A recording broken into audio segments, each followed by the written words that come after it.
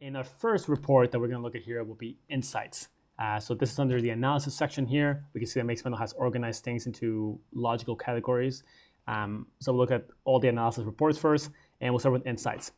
So this is what insights look like. Now, insights actually replaced another report called segmentation, which was part of Mixpanel for really ever since they started, and it was actually the most popular report. Uh, so this is the sort of 2.0 version of segmentation.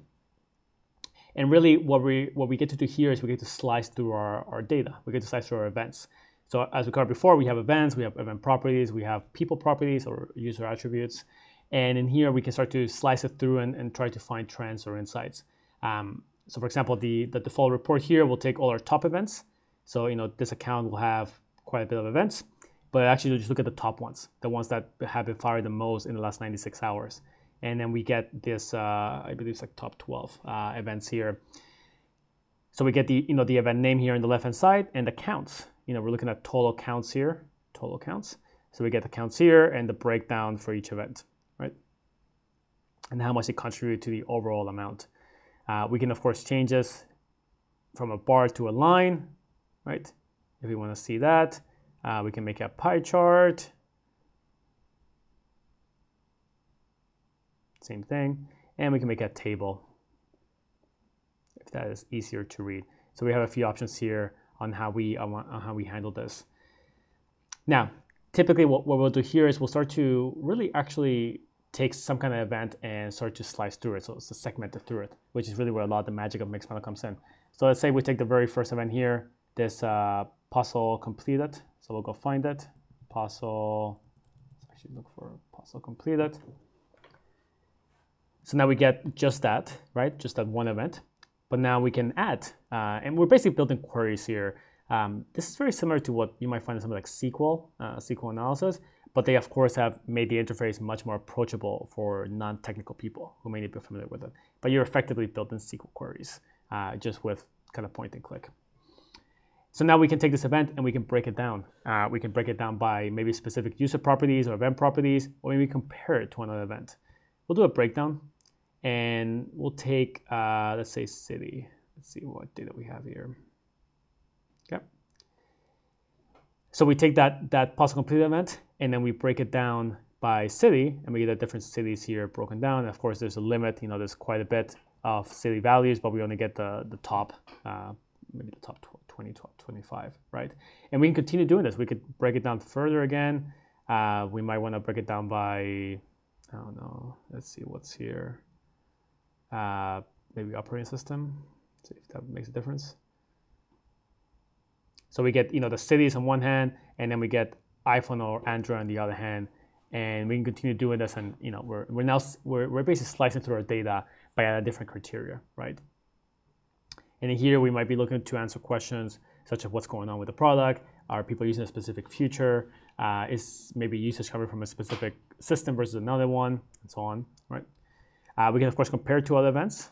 So we can add another event. We can maybe find the, the loaded, the puzzle loaded event. So we take puzzle completed and puzzle loaded, and we, sec we slice it by city and operating system. So we have a puzzle loaded here. And then down here, we have a puzzle completed, also broken down, right?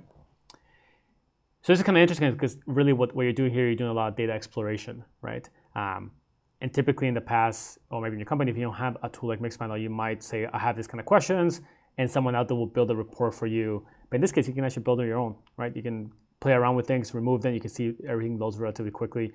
And you know, over a few minutes, you can start to try to explore the data. Uh, time, typical time ranges you might expect here, right? Current day, last day, last 12 months. Um, we have a lot of options here. We can also filter data, right? We might want to say uh, filter by a property, whether it's an event property or people property, and we might say, you know, we only want um, country, uh, let's say Canada, just because I'm, I'm from Canada.